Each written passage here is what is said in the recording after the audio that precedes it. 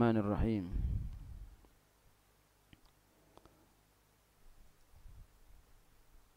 قال المصنف رحمه الله تعالى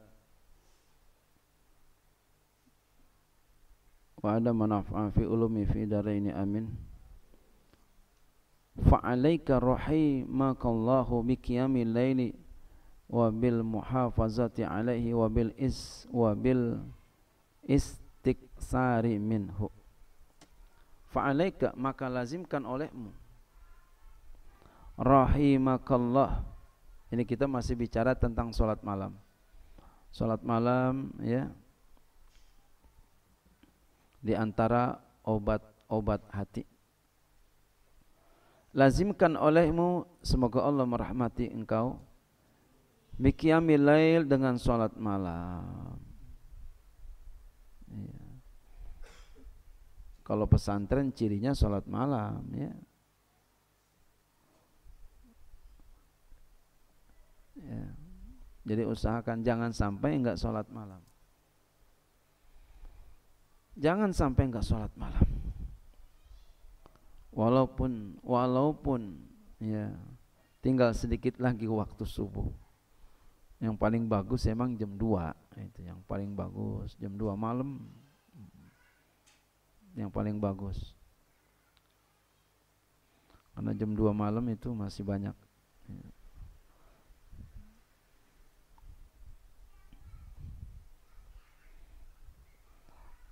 Orang kalau nyari sesuatu paling malam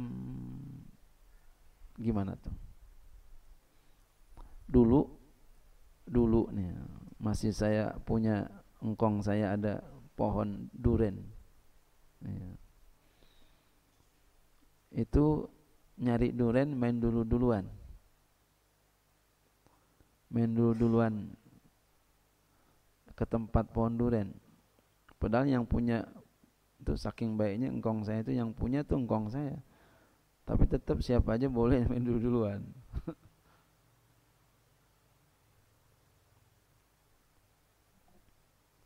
Main dulu duluan nyari Nah, biasanya yang paling malam dia dapat duren. Itu malam benar nyarinya, malam. Ya. Jadi itu durennya jatuh dari atas.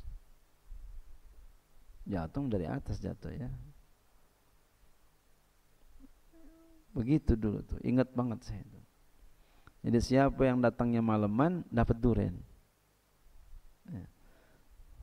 Ya, tapi kadang juga ada sih yang agak agak siangan itu oh nasibnya baik gitu ya. Yang malam gak kelihatan itu. tapi biasanya yang malam dapat ya. Duriannya besar. Ya. Ibaratnya kayak begitu. Siapa yang maleman dapat durian ya.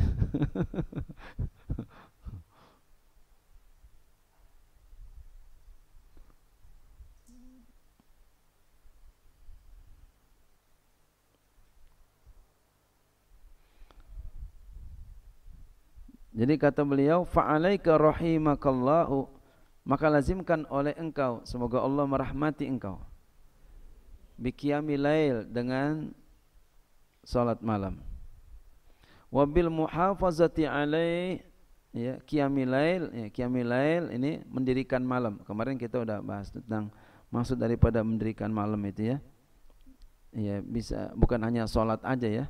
Apa aja. Yang pertama kita salat dulu ya setelah itu muzakara ya, apa mutolaah ya mutolaah mentelaah termasuk qiyamul lail. Wabil muhafazati alaih dan dengan memelihara atasnya. Dipelihara terus setiap malam. Ya salat mutolaah nelaah baca. Wabil istiksari minhu dan dengan memperbanyak darinya. Perbanyak terus. Salatnya perbanyak ya ibadahnya perbanyak, zikirnya perbanyak, istighfarnya perbanyak. Wa kun min ibadir rahmanil ladzina yamshuna 'alal ardi haunan wa idza khatabahumul jahiluna qalu salama. Walladzina yabituna lirabbihim sujjadan wa qiyama. Masya Allah. Jadilah engkau termasuk hamba-hambanya Allah yang bersifat Rahman yang mereka itu berjalan di atas muka bumi ini haunan rendah hati. Ah, nih walaupun ilmunya banyak rendah seperti orang enggak punya ilmu, seperti orang bodoh. Tapi mah kalau disuruh bicara subhanallah gagah. Hmm, Masya Allah. Kalau disuruh ngajar, Masya Allah. Disuruh debat, Masya Allah. Tapi kalau dalam kondisi biasa rendah. Ini orang tawadu. Rendah hati. Padahal ilmunya banyak. Memang begitu. Lihat padi. Padi makin berisi makin tunduk apa tegak. Tunduk. Jadi orang yang tunduk, yang tawadu itu orang yang banyak ilmunya. Orang yang berisi. Orang yang tegak aja begini, sombong. Itu orang isinya enggak ada. Ibarat padi belum berisi. Wa iza khataba umul jailuna qalu salama. Dan apabila orang-orang jahil menyapa mereka orang jahil kau nyapanya ke mana? Nyakitin enggak kadang nyakitin. Qalu mereka berkata salama dengan kata-kata yang mengandung keselamatan. Walaupun mereka berkata yang buruk jelek merendahkan. Ya. Orang-orang pilihan Allah beliau tetap berkata yang mengandung keselamatan. Walaupun dia dicela walaupun dia dihina walaupun dia dicemoohkan walaupun dia diribahkan dia tetap memaafkan. Subhanallah. Itu ciri-ciri daripada wali min awliya illah walladzina yabituna li rabbihim sujjadan wa qiyama. Dan orang-orang yang yabituna melalui malam hari. Yabituna nginep di malam hari. Maksudnya apa? Orang-orang yang melalui di malam hari li rabbihim kepada Tuhan mereka sujjadan wa qiyama. Mereka itu sujud dan berdiri salat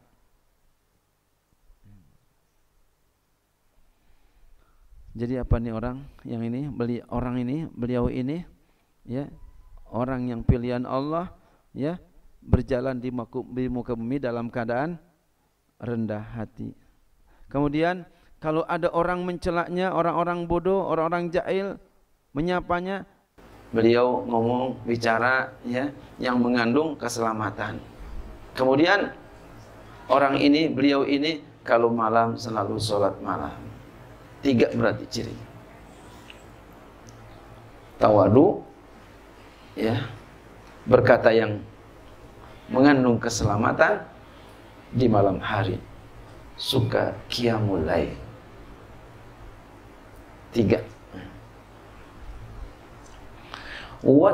Wattasib bi baqiyati asafihim dan bersifatlah engkau dengan setinggal sifat-sifat mereka alladhi wasafahumullahu bi fi hadhil ayati ila akhiriha. Ya. Sifat-sifat mereka, sifat-sifat yang Allah taala sifatkan mereka dengannya dengan sifatnya itu pada ini ayat-ayat hingga akhirnya. Wa in ajasta 'anil katsiri minal qiyami bil laili dan jika engkau lemah daripada banyak daripada ya salat malam lemah umpama enggak kuat banyak-banyak. Fala ta'jiz anil qalili minhu, maka janganlah engkau lemah dari yang sedikit. Ini boleh ta'jiz, boleh ta'jaz. Kalau ajaza ya'jizu, ajiza ya'jazu. Maka jangan engkau lemah daripada yang sedikit. Jadi kalau enggak mampu banyak sedikit. Kalau Allah Ta'ala Allah Ta'ala berfirman Faqra'u ma tayassara minal Qur'an Baca olehmu apa yang mudah daripada Al-Quran Ayat maksudnya Fil qiyami minal laili Pada ya berdiri daripada malam sholat di malam hari. Enggak kuat banyak sedikit. Waqala alaihi salam bersama Nabi alaihi salam alaikum bi qiyamil lail walau rakaatan lazimkan alaikum dengan qiyamul lail sekalipun hanya satu rakaat. Jangan sampai kagak. Wa ma ahsana wa ajmala alladhina yaqra'ul qur'anal karima bil ghaibi ay yaqra'u kulla lailatin fi qiyami bil lail syai'an minhu alangkah bagusnya, alangkah indahnya orang yang baca Quran yang mulia dalam keadaan gaib, nggak ada orang maksudnya. Nggak dilihat orang. Dia baca Al-Quran setiap malam. Sebelum subuh dia baca Quran. Pada berdiri sholatnya di malam hari akan sesuatu daripadanya. Dia baca di malam hari dalam sholat. Dan dia baca Al-Quran ala tajrid. Wa yakra'u ala tadriji. Dia baca Quran ala tadriji. Ya, dengan berangsur-angsur. Ya,